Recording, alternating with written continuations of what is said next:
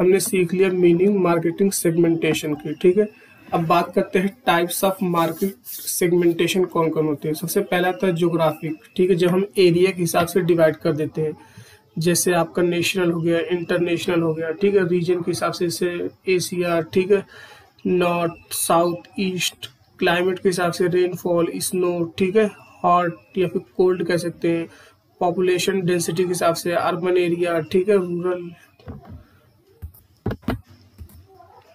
अगला आपका आता है, ध्यान दो डेमोग्राफिक सेगमेंटेशन और मैं पहले बता चुका हूँ, जहाँ पे डेमोग्राफिक वर्ड आए, उसका मतलब होता है रिलेटेड टू पीपल कि पर्सन की एज के हिसाब से जेंडर के हिसाब से ऑक्यूपेशन के हिसाब से इनकम के हिसाब से एकेडमिक के हिसाब से। अगला है साइकोग्राफिक सेगमेंटेशन उसकी पर्सनालिटी लाइफ स्टाइल उसके इंटरेस्ट के हिसाब से। ठीक है? अगला है बिहेवियर सेगमेंटेशन बिहेवियर के हिसाब से